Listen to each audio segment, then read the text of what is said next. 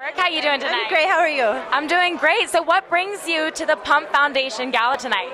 Well, I got the invite, and so I just thought I'd show up. You know, I um, I support their cause. You know, to create awareness about cancer and to raise funds for cancer research and to get rid of this terrible disease.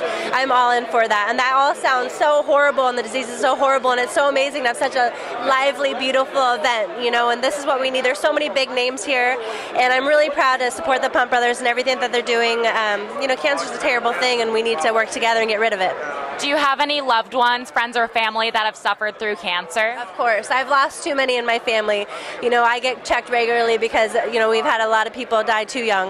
Um, you're going to make me cry. Yeah, so, it, you know, for everyone, it's hit everyone in so many ways. And, um, yeah, we need to get rid of it. Well, on a brighter note, I hear that you just had a baby. Congratulations. Thank you, Scout Marjorie. She's four and a half months old and she's amazing. I love the name Scout. That is absolutely adorable. I hear that you did a magazine photo shoot both both before baby and after. Can you tell me a little bit about it? Yeah, you know, I did the ESPN body issue and it was the scariest one of the scariest things I've ever done, but I'm so glad I did it because the pictures turned out beautifully and it was such a cool way to not only, I guess, celebrate my body as an athlete, but also as a mommy because that's what I'm most proud of and however scary it was, it was so worth it. My parents still love me, my husband still loves me, no one's disowning me, so it's it's a good thing. Well, thank you so much for the interview and have a great night.